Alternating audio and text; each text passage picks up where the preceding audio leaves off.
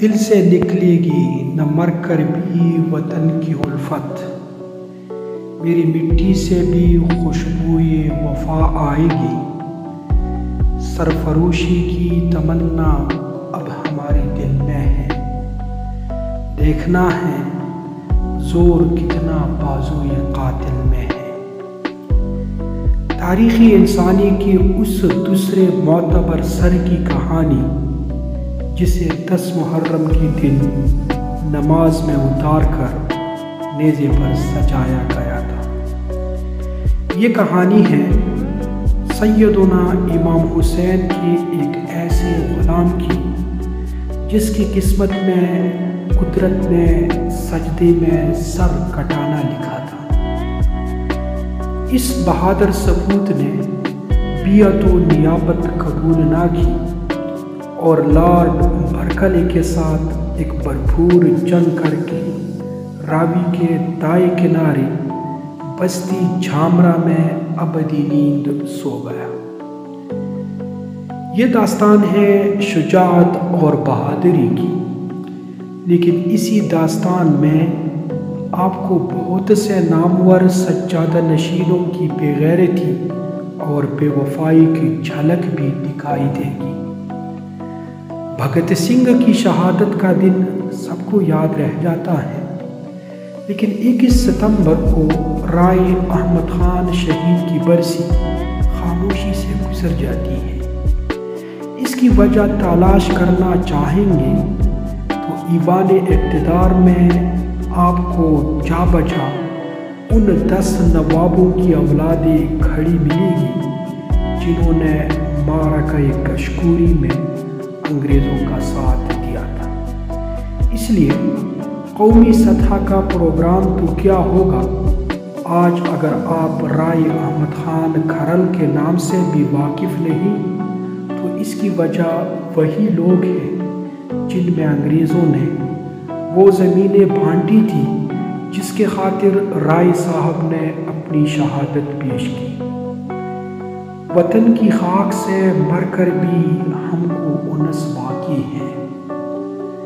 मज़ा दामान मादर का है इस मिट्टी के दामन में।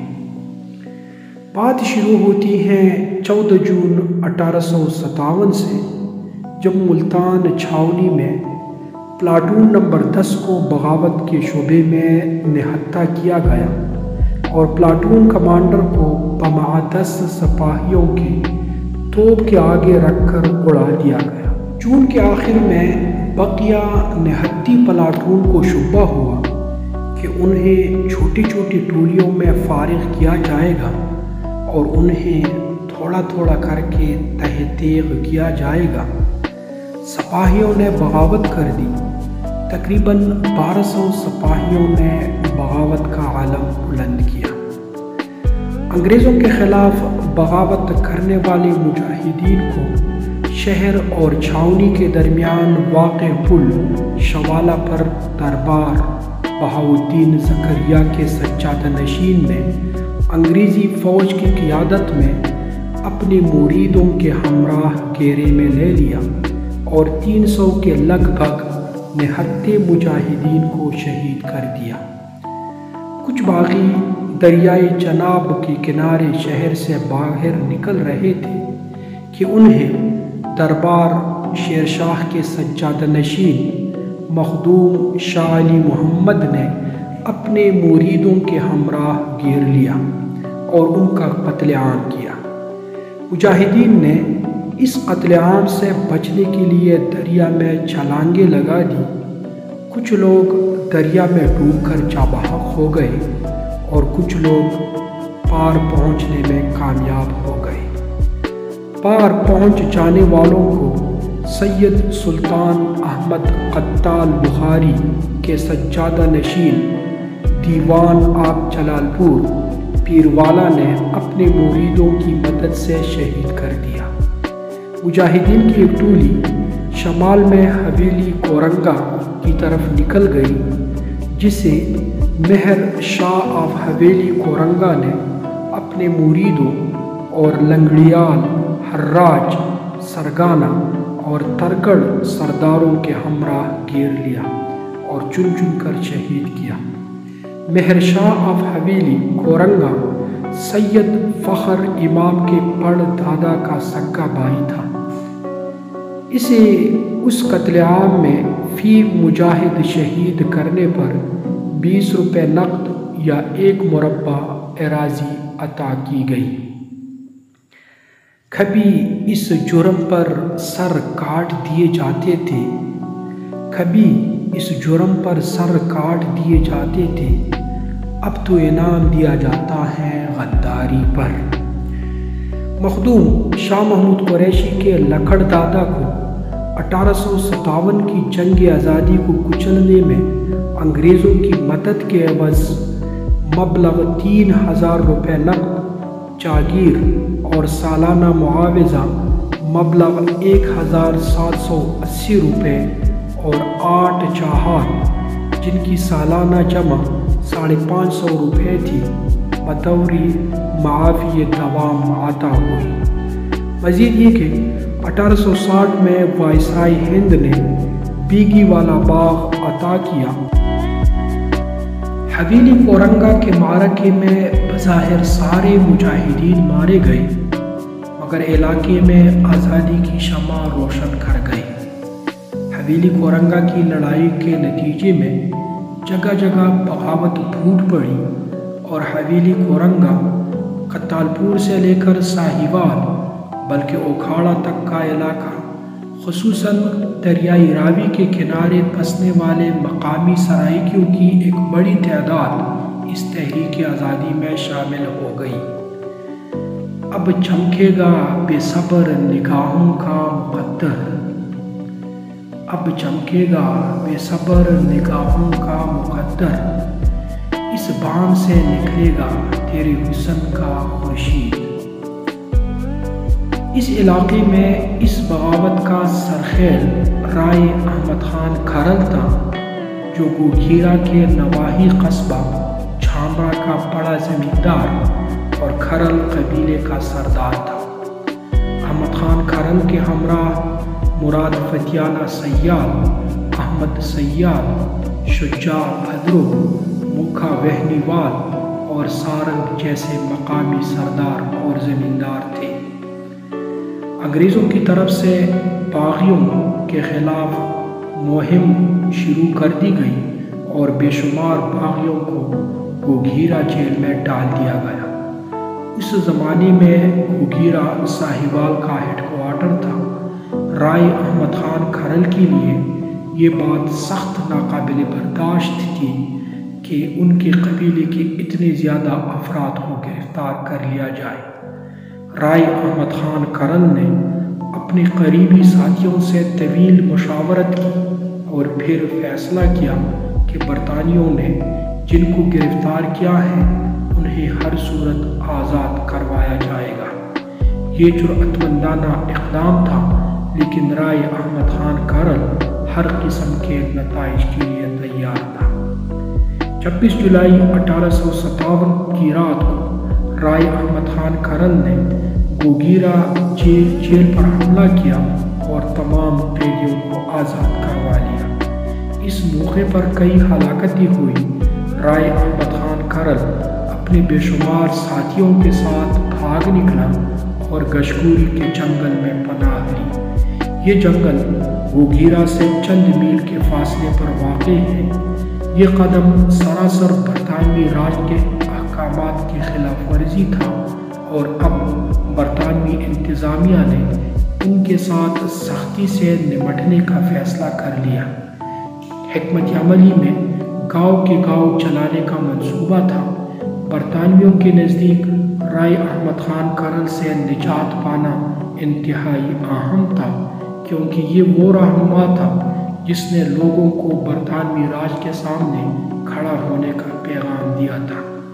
बरतानियों ने राय अहमद खान करल के ख़ानदान के अफराद को गिरफ़्तार कर लिया और उन्हें कत्ल करने की धमकी दी। राय अहमद खान करल अपनी माँ और ख़ानदान के दूसरे अफराद की ज़िंदगी ख़तरे में नहीं डालना चाहता था, इसलिए उसने अपने आप को गिरफ्तारी के लिए पेश कर दिया। उसकी गिरफ्तारी से अफरा तफरी में इजाफा हो गया, क्योंकि कबाइल का एहतजाज बढ़ता जा रहा था। बरतानवी इंतज़ामिया को दबाव के सामने झुकना पड़ा और उन्होंने राय अहमद खान करम को रिहा कर दिया। लेकिन साथ ही ये शर्त भी आयद कर दी कि वह गोगीरा छोड़ कर नहीं जाएगा। राय अहमद खान करन जेल से बाहर आ गया, लेकिन उसका मकसद कबाइल को मुतहद करना था। जंगल में अपने साथियों से मशवरे के बाद ये फैसला किया गया कि दरियाई रावी के दोनों तरफ़ कबाइल इकट्ठे हो जाएँगे और चेक पोस्टों पर हमले करेंगे। राय अहमद खान कारल को आमने सामने लड़ाई में पकड़ना या हलाक करना आसान नहीं था, क्योंकि वो इलाके से अच्छी तरह वाकिफ था। ताहम, उसे पकड़ने की एक तरकीब थी। ये वही तरकीब थी जो टीपू सुल्तान और नवाब सिराजुद्दौला के खिलाफ इस्तेमाल की गई थी। यानी उसके मातहत आदमियों की वफादारियाँ ख़रीदना था, जो राय अहमद खान करल के बारे में सारी इतलात दी। दो अफराद ने राय अहमद खान खरल से गद्दारी की हामी भर ली। एक का नाम था सरफराज खरल और दूसरा था यनहान सिंह भेदी।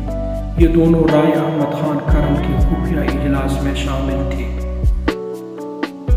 इक्कीस सितंबर अठारह को रावी के किनारे दले डल में अहमद खान करल पर जब हमला हुआ तो उस हमले में अंग्रेज़ी फौज के हमरा मखदूमों सैदों सज्जाद नशीनों और दीवानों की एक फौज ज़फ़र मौज थी, जिसमें दरबार सैयद यूसुफ गर्दीज का सज्जाद नशीन सैयद मुराद शाह गर्दीजी, दरबार बहाउद्दीन जकरिया का सज्जादा नशीन मखदूम शाह महमूद कुरैशी, दरबार फरीदुद्दीन कंज शकर का गदी नशीन मखदूम आफ पाक पतन, मुराद शाह आप डोला बाला, सरदार शाह आप खंडा और गुलाब अली चिश्ती आप टब्बीलाल बेग के अलावा भी कई मखादिम सज्जादा नशीन शामिल थे।